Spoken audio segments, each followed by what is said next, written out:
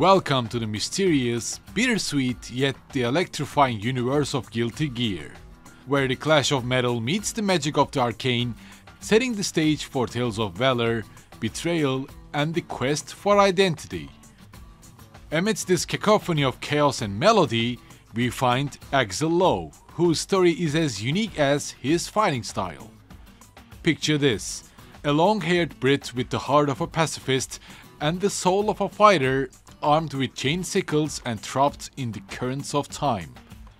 I'm Arcadenaut here, and just like we have explored through the stories of Zato-1, Asuka R. Kreutz, Johnny, Elphelt Valentine, and Ava, today we are diving deep into the captivating odyssey of Axl Low, one of the original cast of the Guilty Gear roster. From his beginnings in the streets of 20th century London to his bizarre, time jumping battles across the Guilty Gear series, we'll unravel the story of Axl Low, the time traveling rocker whose quest for peace and love defies the very fabric of reality. Not much, no problem, if the world doesn't change.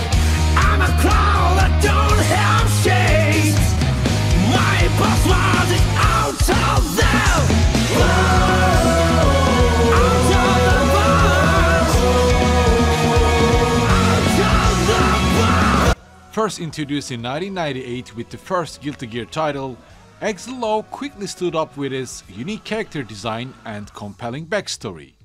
Sporting a look that screams Guns N' Roses vibes with long blonde hair and attire that seems to draw equal inspiration from classic British punk music, Axl's visual identity was striking and different from the rest of the roster.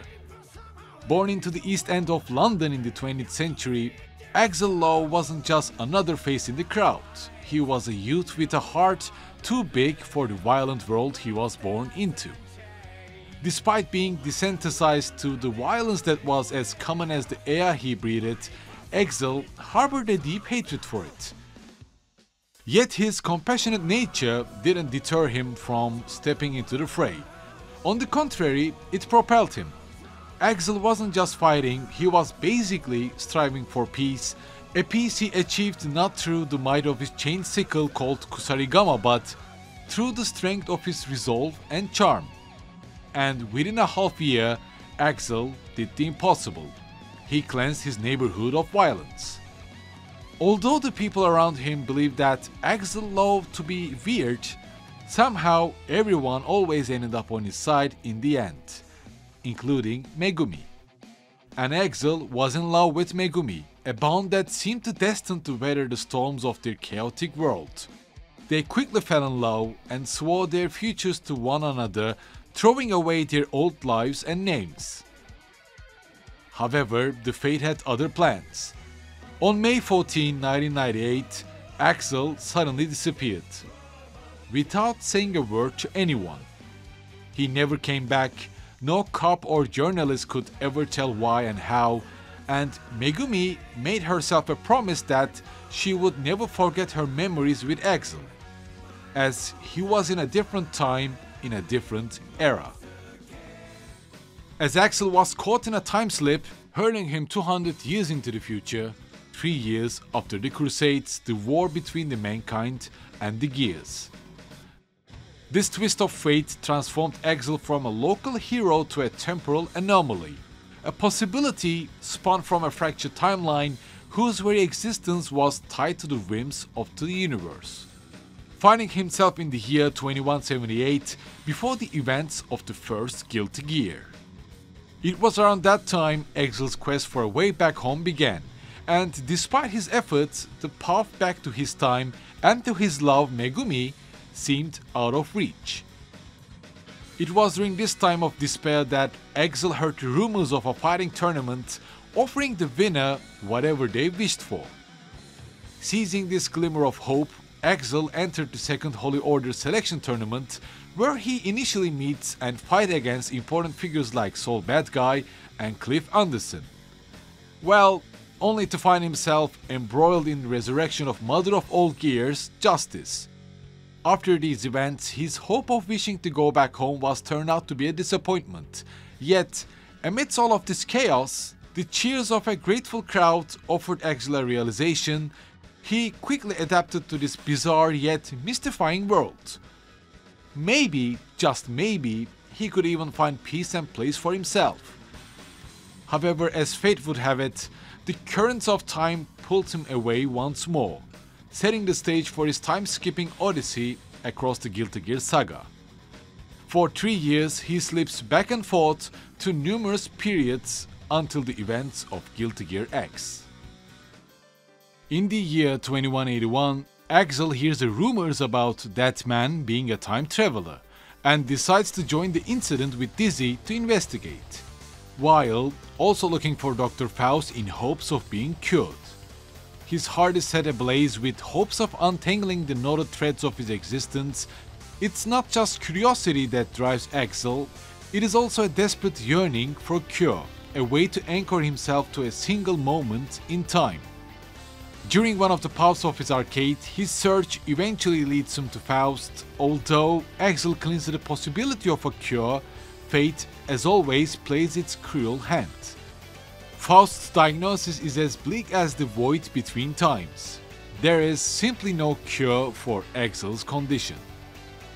The revelation that his perpetual drift through the ages could be due to the existence of two Axls within the same time frame sending ripples through his soul. Yet, before he can grasp the full weight of this theory, Axl is hurled through the time once again. During his other arcade route, Axl meets with Venom, who tries to recruit Axl to the organization, Anji Mito, who senses an immense power within Axl, and of course Sol Badguy to have a friendly match.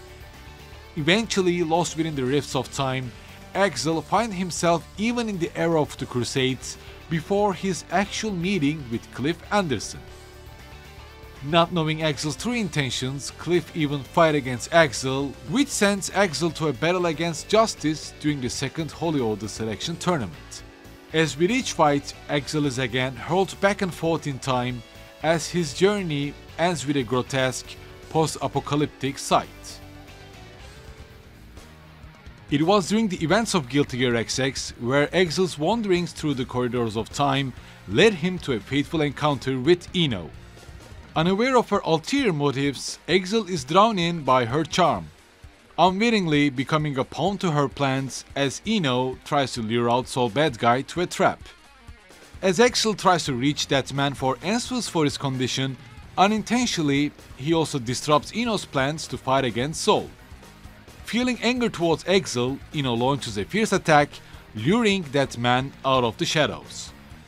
This pivotal encounter with that man sheds light on Axl's time slip phenomenon. So, here at this point, according to a lot of Guilty Gear fans and myself included, there is a mistranslation. That man implies Raven as an identical existence, suggesting that their natural repulsion is the catalyst for Axl's temporal disarray. However, what that man actually means is Axl's condition is quite similar to Raven's immortality as he lived throughout the centuries. However, that man also implies Axl's condition is again Axl's own fault, due to an event that hasn't happened yet. With this revelation, Axl is sucked through the time rift once again. As the events of Guilty Gear XX continue with Guilty Gear XX Accent Core, this time Axl decides to find that man to ask him for a way to return to his own period, rather than finding a cure. His search initially leads to I-No, and depending on how you manage to beat Axl's opponents, his story route also changes. Like if you finish the battle with Axl's instant kill ability, Axl is sent back to time of the Crusades where he meets Order-Sol who happens to know Axl, unlike what happened with Cliff before. Or if you defeat I-No by normal means, Axl meets with Sol Badguy and continues his search for that man that, as you can guess, angers Sol Badguy, leading to a match between two. As Axl's complex story continues with players' way of defeating Axl's opponents, at one point Axl even encounters himself from a different timeline who says he will get his happy ending as long as he doesn't give up. Of course, in response to that, Axl asks himself if he will ever see Megumi again, receiving no answer. This layered narrative of Axl is eventually marked by his confrontation with Crow of the Post-War Administration Bureau, who tries to capture him with a justice copy. Depending on resisting or just running away from justice, Axl's endings are shaped. In one path where Axl resists and defeats the justice copy, he manages to slip his own timeline. Overjoyed, Axl sees Megumi and is about to greet her only to be cruelly flung through the time yet again. On the other path, Axl doesn't fight the Justice copy and slips through the time again into a war zone this time. And actually it is an unknown time, maybe even an unknown multiverse, running for his life from an army that does not seem from Guilty Gear's universe. Guilty Gear Xrd chapter of Axl's story unfolds in a desolate future specifically in Babylon on October 22, 2192. It is here that Axl, ever the wanderer between the folds of time, encounters a mysterious voice, known as the Original, delivering an unknown gibberish message. The Original tasks Axl with delivering this message to that man. Axl finds himself thrust into yet another whirlwind of temporal turmoil questioning how he can possibly fulfill this request when he is constantly at the mercy of his unpredictable time-slipping ability. Around that time, he shortly time-slips to October 25, 2187, ending up in Bedman's Nightmare Theater. He yells for the help of the original but only Bedman shows up and almost kills him. There at that time, is saved by I-No, who summons him back to 2192 again to kill him for knowing about the original. However, poor Axl says he was only told to deliver a message to that man, which I-No surprisingly agrees to help so that it might change the dull future. As I-No takes him to that man, Axl lets off a string of gibberish that neither he nor I-No understand. However, that man acknowledges his message. The original warned that man about Conclave's attempt to revive justice. As Axl's journey through the time continues, he confronts the harsh reality of his desires and the implications of his powers. Learning that I-No has also the power of time, Axl decides to find I-No to have her send him back to 1998. Meanwhile, as I-No was searching for the wandering Jack-O Valentine. It is there the origin of Axl and I-No is revealed.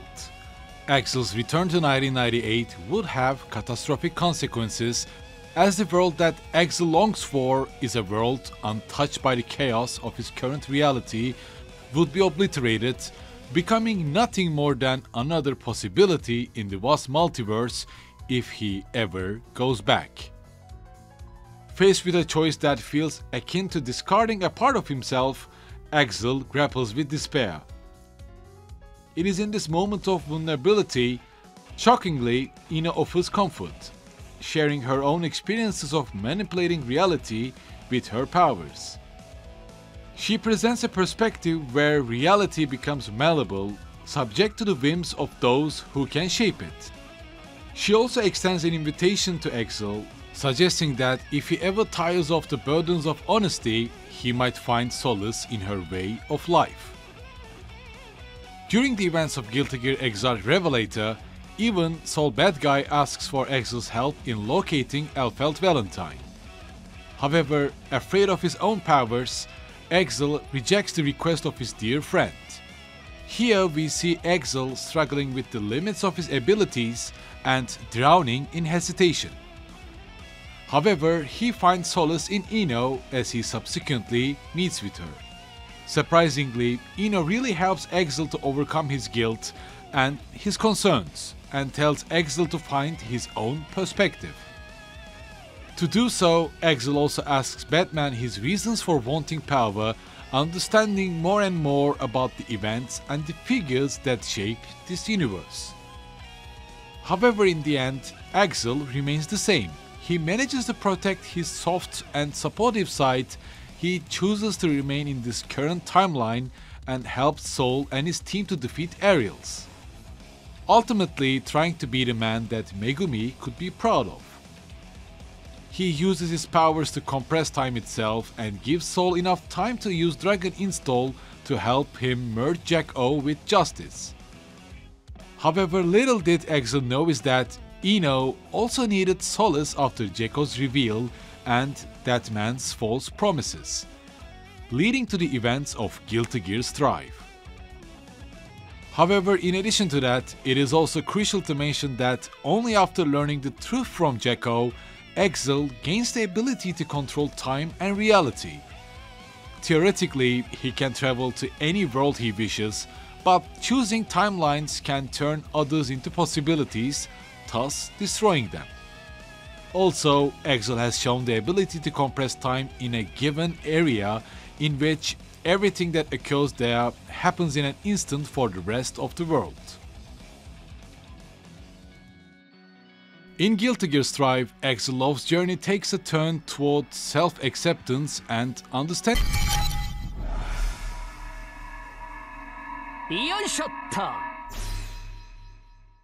finding of his place within the current world, following his momentous decision to remain in the timeline he's been thrust into.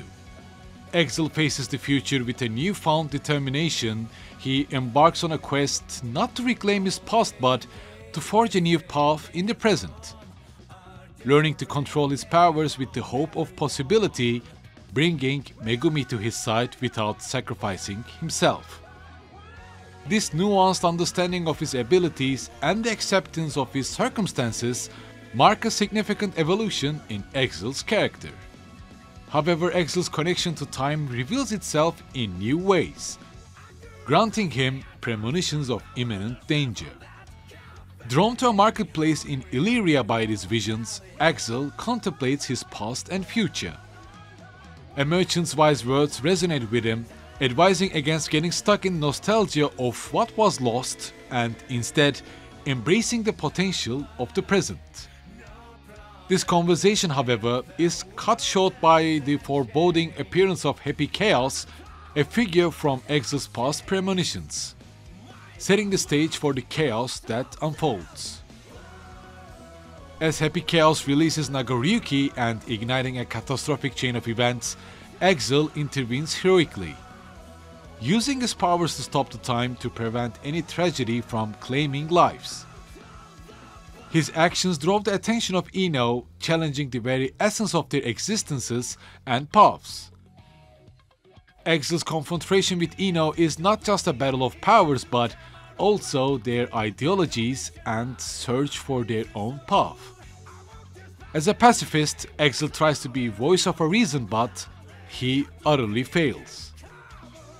As I-No's ascent to godhood begins and fights against Ky Kiske, Axl tries to bring I-No back to her senses and tries to persuade his counterpart as much as he can. As I-No is struck by Sol, Ky and Nagoriyuki and utterly defeated, Axl implores her to remember something, if anything.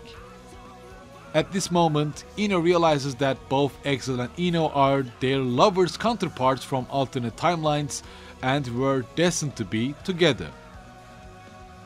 Before her final moments and likely with the last of her power, I-No trades places with her alternate past self, just as Axl said he could have done prior.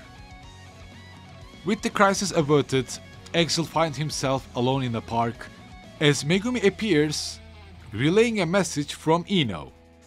I'm giving you my unfair way of life. You ask for this.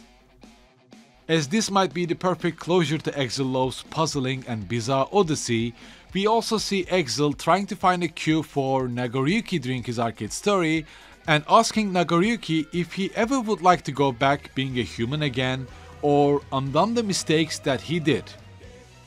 This might be related to Slayer or for their next installment, but Axl seems to play a supportive role just like Slayer used to play for other figures of this universe. As the curtains close on the time-lapsing saga of Axl Low, we are left with a happy ending this time, hopefully. Throughout his odyssey, Axl grappled with the implications of his unique ability, faced adversaries of all calibers, and sought a way to adapt both his past with his present. His encounters with characters like Soul Bad Guy, I-No, Bedman, and Deathman have not only challenged him, but also offered insights into the nature of his powers, improving Axl's personality, making him a dependable ally at any situation. In the end, Axl Low stands as a warrior whose greatest battle was with himself, and whose ultimate victory lies in the peace he has found within. His story, a blend of action, introspection, and emotional depth, is one of the most genuine narrative points of Guilty Gear universe. He is not a gear, he is not a crusader, nor a vampire, nor sacrificed anything to earn power. Axl just wanted to have a peace and quiet with his beloved by his side. And finally, after years of struggles, at the end of his journey, his time seems to be moving once again. Thanks for watching today's video, I hope you enjoyed it like you enjoyed my other story videos. Don't forget to follow me on Twitter or to join my Discord channel. Any humble support through YouTube join or Patreon are really appreciated. I will see you soon, whether it be fighting game contents or not. Stay tuned.